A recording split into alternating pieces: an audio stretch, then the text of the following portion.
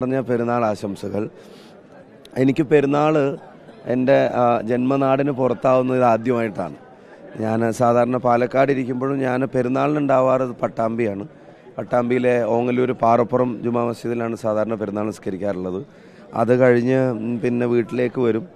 അപ്പം പിന്നെ വീടിന്റെയും വീടും കഴിഞ്ഞിട്ടാണ് പിന്നെ തറവാട് വരുന്നത്. അപ്പം പള്ളിയിൽ നിന്ന് ഇറങ്ങി വരുന്ന എല്ലാവരും നമ്മുടെ കുടുംബക്കാരും സുഹൃത്തുക്കളും ബന്ധുക്കളും വീട്ടിലൊന്ന് കയറി പിന്നെ ഞങ്ങൾ എല്ലാവരും കൂടെ തറവാട്ടിൽ പോകും.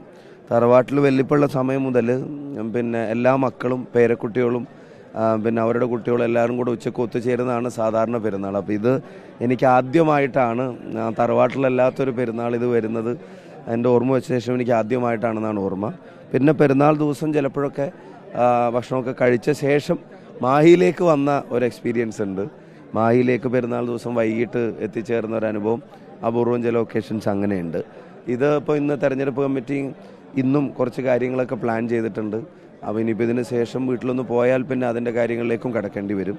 എന്തായാലും ഇന്ന് രാവിലെ തലശ്ശേരിയിലെ ഈദ്ഗാഹിൽ പങ്കെടുക്കാൻ സാധിച്ചു. ഞാൻ മനസ്സിലാക്കിയെടുത്തോളം കേരളത്തിലെ തന്നെ ആദ്യത്തെ ഈദ്ഗാഹുകളിൽ ഒന്നാണ് പിന്നെ തലശ്ശേരിയിൽ നടക്കുക. എത്രയോ പിന്നെ വർഷങ്ങളുടെ പഴക്കം ഈ ഒരു കൂടിച്ചേരലിലുണ്ട്. അപ്പോൾ അതിന്റെ ഒരു ഭാഗമാവാൻ കഴിഞ്ഞതിലും അതിയായ സന്തോഷമുണ്ട്.